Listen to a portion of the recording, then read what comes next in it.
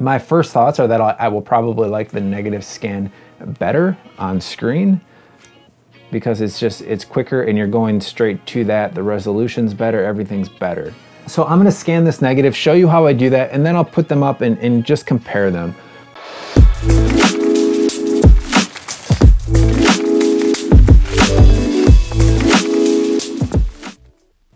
Hello again. This film is gonna be about scanning.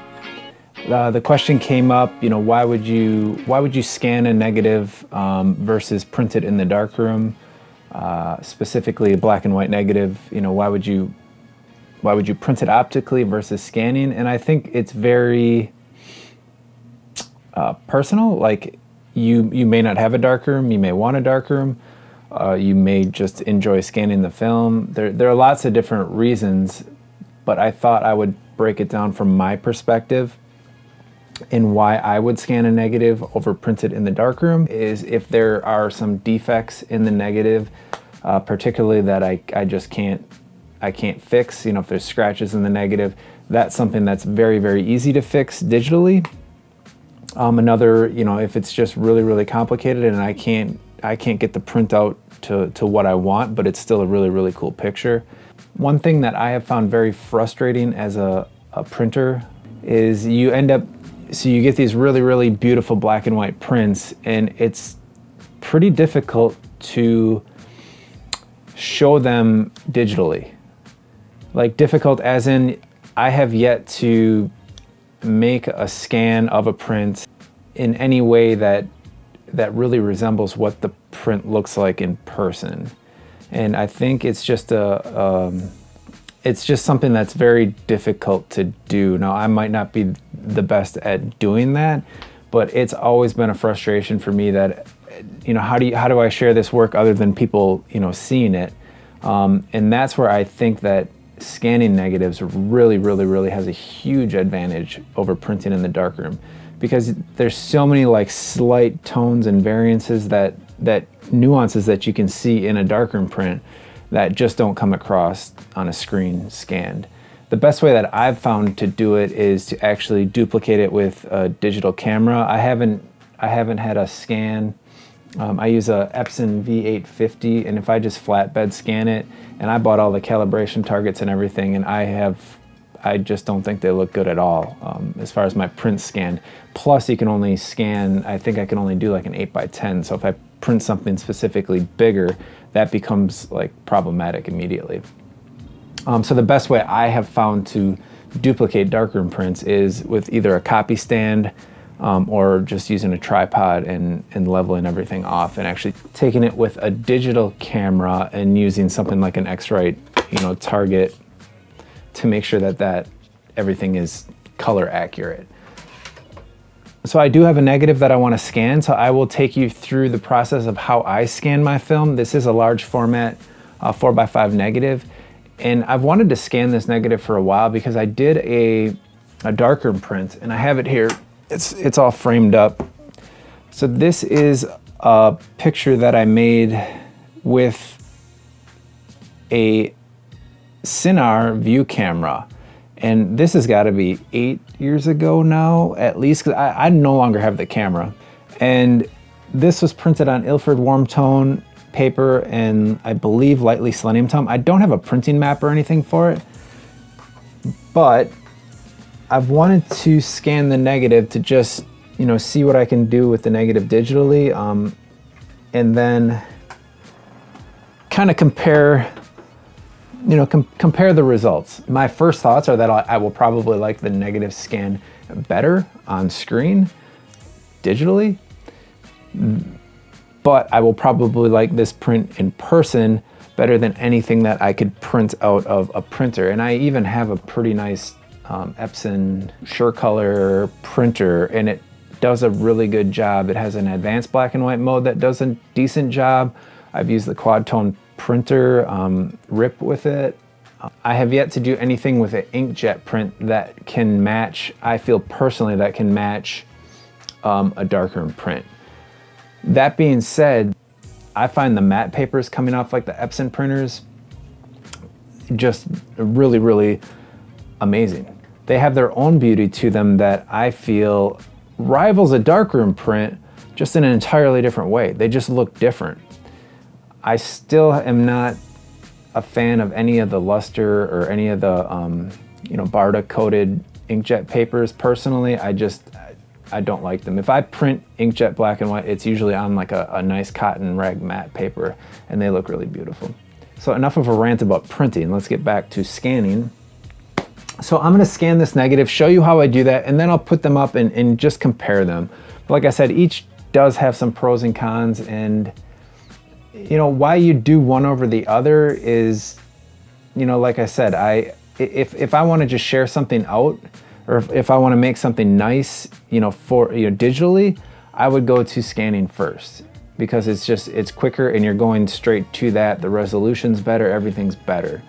Um, but it, it's, they're just two different processes. So all that being said, let's jump into this and I'll show you how I scan my negatives because that was another question that um, had come, come up.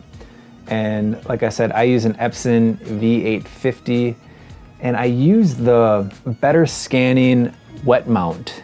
And I had never really done much scanning up until recently.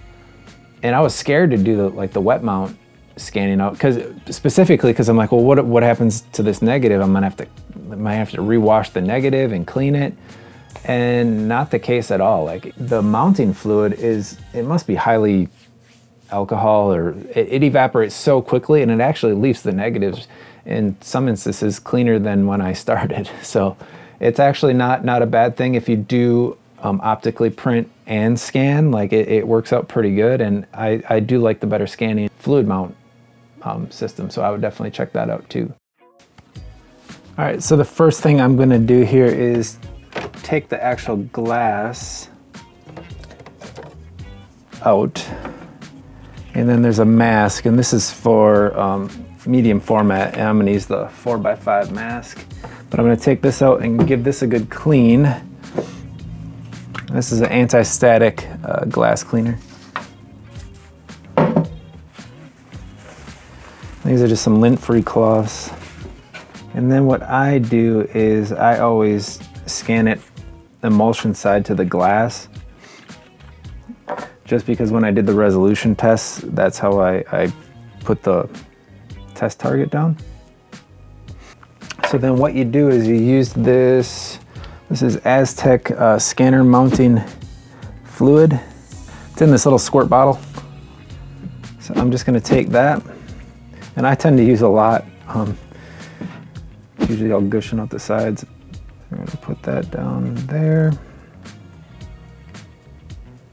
I'm gonna put some fluid on the top. And then I'm gonna put a piece of Mylar, a Mylar sheet down over the top of that. Just gonna roll it out to get the bubbles out.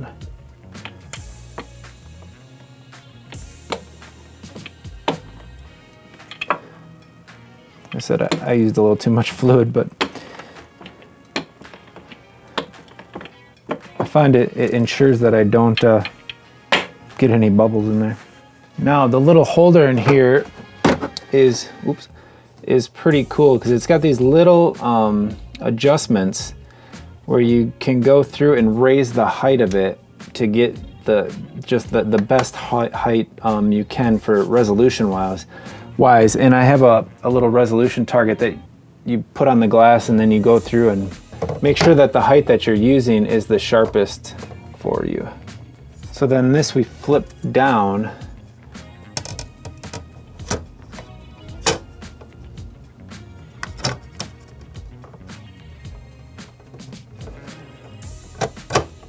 so that the negative is actually on the underside. So we're doing a pre-scan of the negative. Um, this is in Silverfast 8 uh, AI Studio. So I don't have much to compare it with. This is the only scanning software I have used. Uh, but in here, so you want to just adjust these red borders so that it is around your, the area that you want to scan. And then the thing that I like about this is it has an actual um, Kodak And this was Kodak T-Max 100. Um, I, like I said, I shot this quite a while ago. I haven't shot Kodak T-Max in, in a bit, but according to this scan, it, it looks a little bit, I'm gonna brighten it up a little bit. Um, the sun was just dropping when I was shooting this, so the shadows did get underexposed um, a little bit, but it, it looks pretty good. Don't want to do too much in here. It looks like there's a little bit of blown out there. I think that's about where I'll leave it. Um, now I pretty much scan everything at max. Um, I just, I figure if I ever want to do anything with it, I can always downsize it um, if I need to. So, but if I ever want to print it, I'm gonna want the best resolution I can. So we'll go ahead and hit scan. And now that's gonna scan this into a folder. So here's a little tip. I use this scan imports folder and I have that, if you use Lightroom, here's a tip for you. I have it set up so that if you go to um, File, Auto Import, and you click this Enable Auto Import, and then you can click on these Auto Import settings, and this is the folder that I have Silverfast going to, so any, any images basically that get dropped in this folder, right here, so any images that get dropped into this folder that's here gets automatically put into um, a folder called needs sorting and that's right here. So I know that these need to be um, looked at and taken care of. So it's just a really easy way to um, automatically import your scans into Lightroom if if you haven't if you didn't know about this now you do so again it's under file uh, auto import so we'll just take and wait for that scan to get over here and then we'll take a look at it. All right, so now the image is finishing. It says it's finished. So I can go over to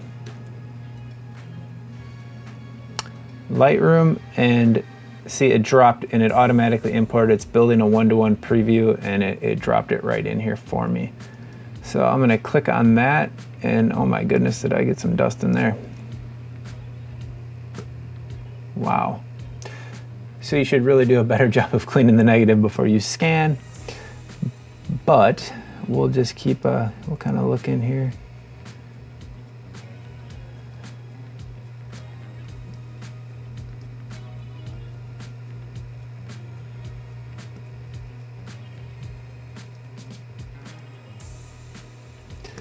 So the first thing I'm going to do is just go ahead and uh, make a few slight adjustments. I'm going to turn it to black and white since I did scan it in color. And then I might just bring the shadows up just a tad. And maybe the blacks down just a little bit. And I don't want to do too much else in Lightroom. So now I'm going to go ahead and open it up in Photoshop. And the one huge, huge, huge advantage to um, scanning negatives versus printing them is now I was kind of sloppy when I scanned it, so there's quite a bit of dust and I'm gonna go through and clean that up, but I'll speed it up. But it is so much easier to deal with that dust than it is in the darkroom. So that is huge. And then anything that would be like, you know, if I wanted to remove something or you know, what, whatever you want to do is, is going to be so much easier digitally. And sometimes what I will do if, if I really have a vision for a particular image is I will actually scan it, do the manipulations, and then you can always, and I, I do it sometimes, is output it to transparency and then contact print it back on darkroom paper. And I do it with lith prints quite a bit. Um, and occasionally I will with, with um, a black and white film. Um, but so yeah, let me go ahead and, and, clean up this film and then we'll make some little contrast tweaks. I don't want to I don't want to go through and, and like edit this too much. I just wanted to do a quick like comparison. You know, I printed that picture on the on that uh, fiber-based paper just years ago, so I'm sure I could do a better job printing it today. But I want to go through do a, a little edit on this and then just throw them up next to each other to kind of see. And I'm not looking at the other one either. So I'm gonna just go ahead and, and kind of take my vision um, for this one and, and, do some quick tweaks to it. And then we'll, we'll put them up next to each other and, and, and kind of compare and see what happens. So, so I'm gonna speed this up, go through and uh, get all this stuff cleaned up.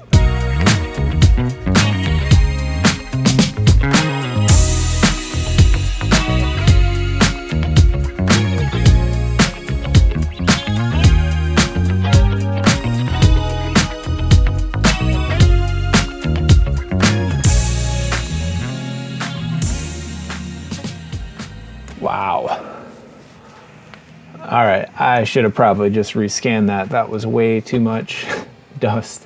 But again, at least digitally you can do it pretty pretty easily and fast. Um, so it looks like my horizon might be a little bit off too. So the next thing I'm gonna do is just go ahead and crop this. Um, and I believe there's a, yeah, straighten. So I go along this horizon here. There we go. I'm just gonna bring this in. That's one thing I've never been very good at is just the first thing you should do with a, a, view camera is level it. I'm better at it now, but I remember back then I my horizons would all be all wonky. All right. So that should be sufficient. There we go. Okay, so now I'm gonna open this up in, I, I duplicated the layer. I'm gonna open this up in Camera Raw, add a little gradient on the top, because like I said, I'm not trying to match this. I'm trying to just go with what I would typically do for a you know, black and white scan. Um, we'll go gradient.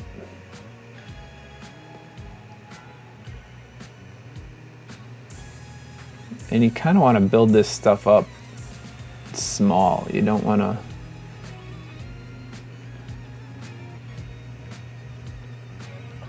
You don't want to do everything in one swoop.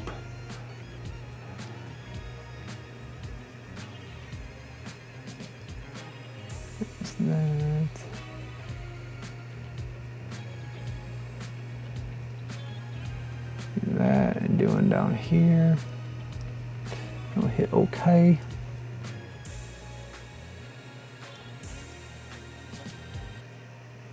There we go, flatten that. Now we'll put a curves on here.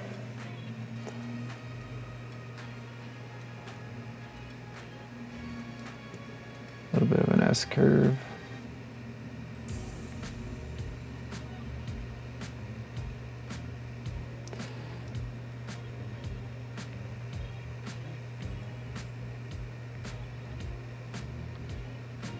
Must have messed something up because I typically this is in 8 bits per channel, so I usually do everything in, in 16 bit. Uh, it's still in color too, but we'll deal with it. We'll just let it ride. All right, so that looks pretty good. And then I'm gonna do another curves layer just to bring the highlights down up there just a little bit. And I'm going to go ahead and mask that one off. And I like to use the flow, so I'm gonna go 5% flow, 100% opacity, and just kind of brush down these highlights just a little bit.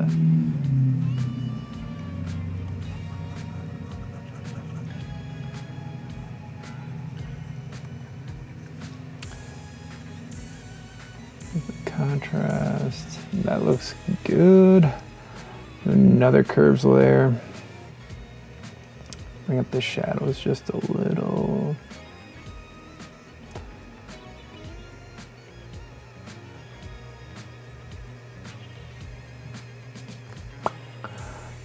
And I'm going to kind of do this selectively. So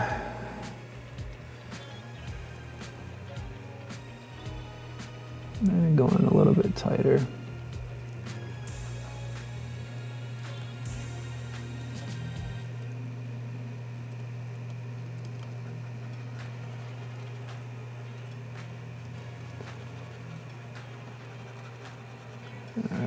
Looks good.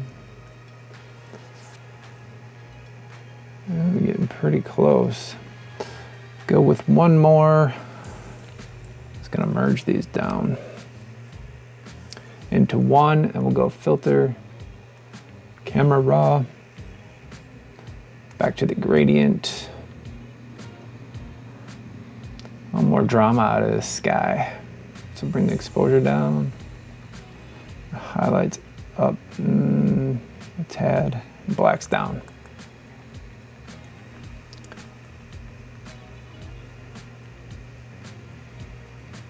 There we go. And I'm gonna back that off a little, that was a little much.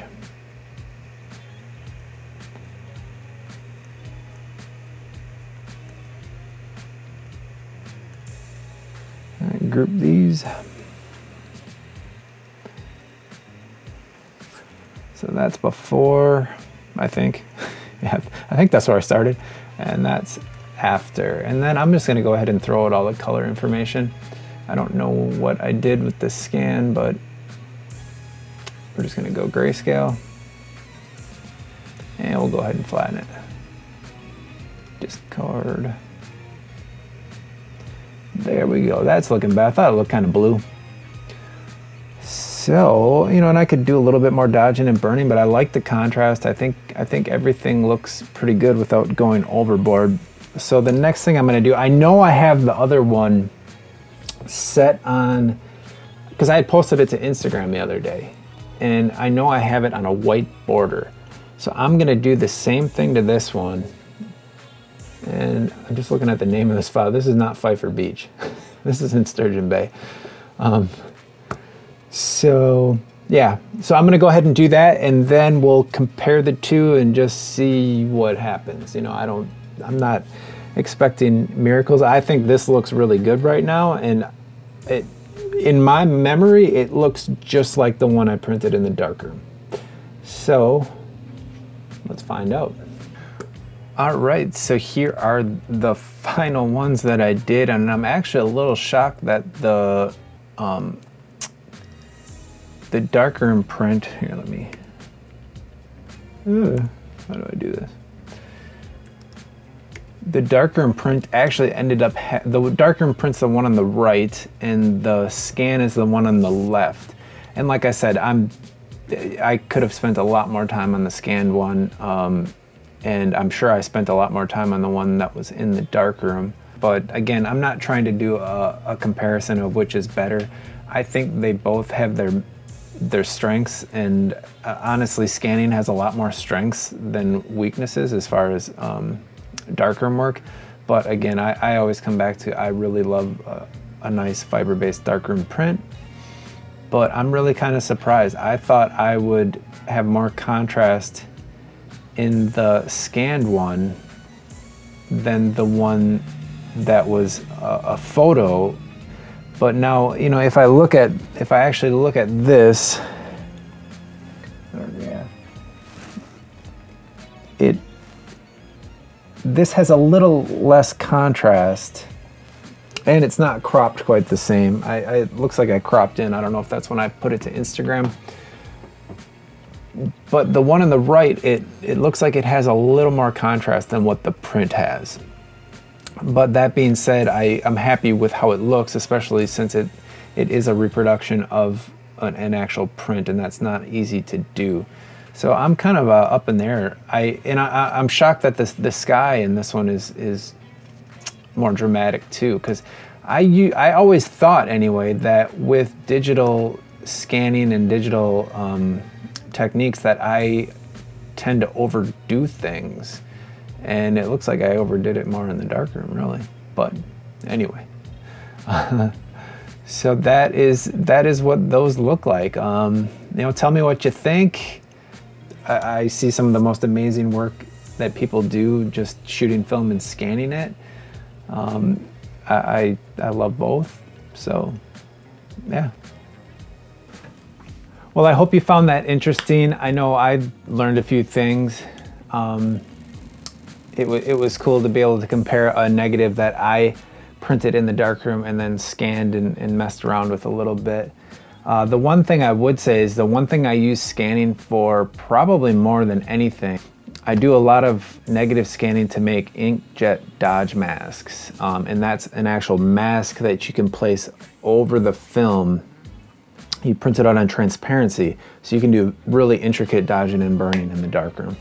Um, so that's one thing that I love scanning film for. It's a little bit more of a um, advanced technique, but maybe I'll uh, try and try and cover it in future videos. So I hope you enjoyed this video. Um, if you haven't already, please hit the subscribe, hit the uh, like button, and uh, we'll see you next time.